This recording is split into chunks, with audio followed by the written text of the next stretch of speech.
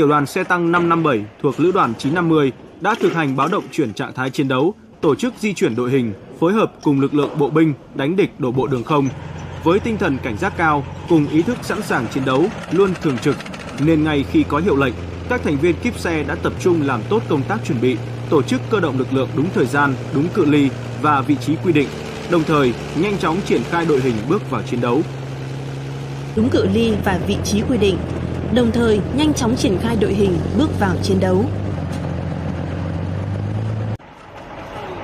Để khai thác hiệu quả vũ khí khí tải hiện có, tiểu đoàn xe tăng 557 còn chú trọng huấn luyện cho bộ đội các nội dung tác chiến trên biển đảo như chiến thuật phòng ngự, đánh địch đổ bộ đường biển, tổ chức chi viện cho lực lượng trên biển, trên đảo xa. Tất cả các nội dung này đã giúp bộ đội tăng có bản lĩnh chiến đấu vững vàng, làm chủ được mọi địa hình phức tạp. Nhờ đó, hiệu quả hiệp đồng tác chiến với các lực lượng khác trong bảo vệ đảo được nâng lên.